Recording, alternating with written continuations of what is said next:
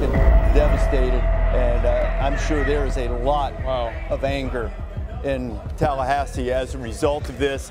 And I think they also have a hangover. Uh, I think they used up too many tears crying about not getting in the playoffs. And it's just a reality. You're comparing them Alabama to Florida State. You cannot take Alabama out of this. I know the journey you've been on. I see the challenge.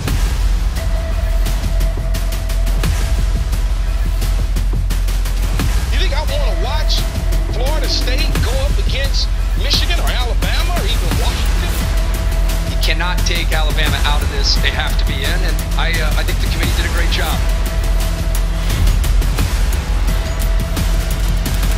Nothing distracts you.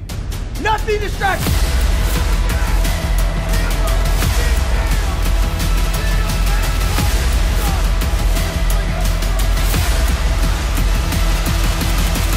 Work you put in, the sacrifices you make, right? Everything to be a part of this program. Because it prepares you for times like that. And when you're willing to invest like that, you're always going to respond. We ain't done yet!